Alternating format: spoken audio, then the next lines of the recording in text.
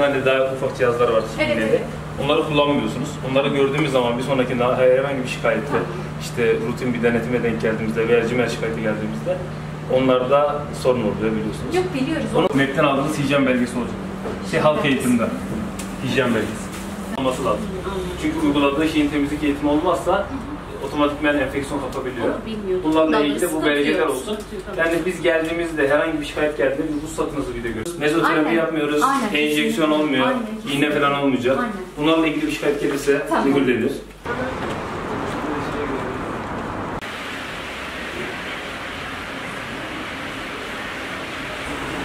İşte arsa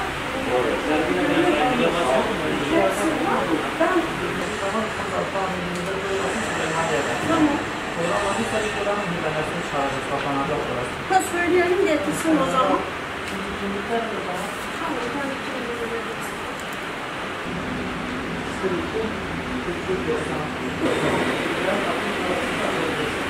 O standartlar doğrultusunda Bakımlar bakım yapılacak. Biz geldiğimizde onları kontrol edeceğiz. Geldiğimizde eğer onlar olmazsa o zaman yine aynı şekilde cezai işlem olacak. Dışında senin diyeceğim belgen var.